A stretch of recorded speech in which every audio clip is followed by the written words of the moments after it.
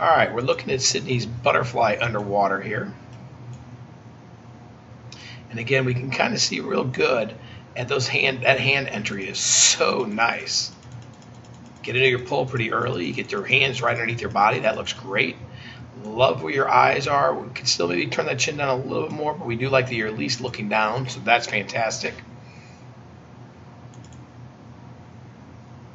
Good job of breathing early. Just make sure when we breathe, okay, you want to be careful at dropping those feet quite so low in that water.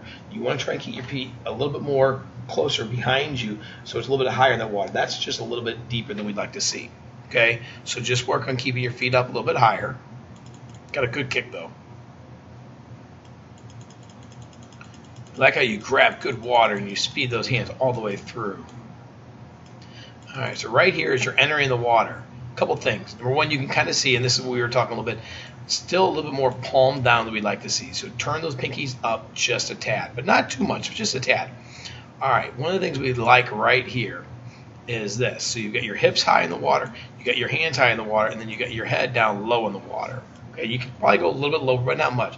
But by doing this, we've got what we see is the power triangle and butterfly. And that's the ideal upper body position that we want to see in butterfly every single time. So really, nice job on that. That is absolutely perfect. Okay, we really like that a lot. In fact, one of the best we've seen all day.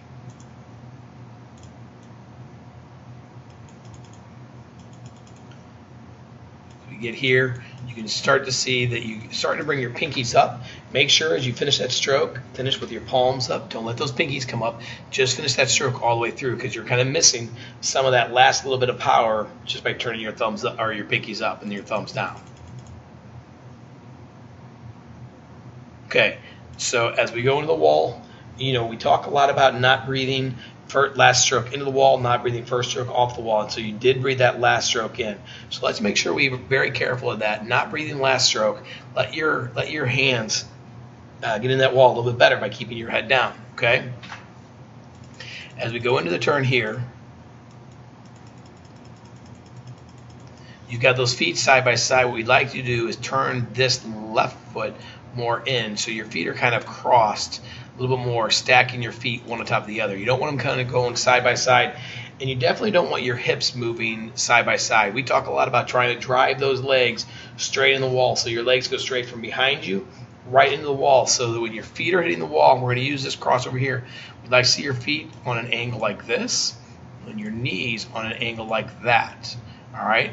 So as you are hitting the wall here, as you can see, you do a great job of dropping that hand off the wall. This hand's a this hand's a little low, but you can kind of see that your hands, your feet are hitting sideways, your leg are hitting sideways, you're looking sideways, and your hand's actually in front of your face.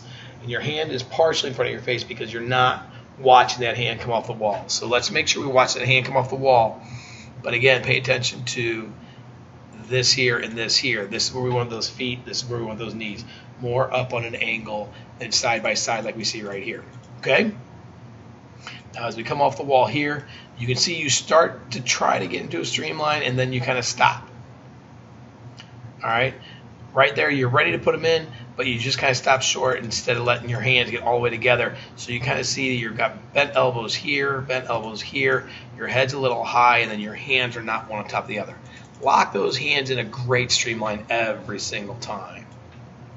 One, Mm, maybe one dolphin kick. Remember, we want six. We definitely need bigger dolphin kicks than that.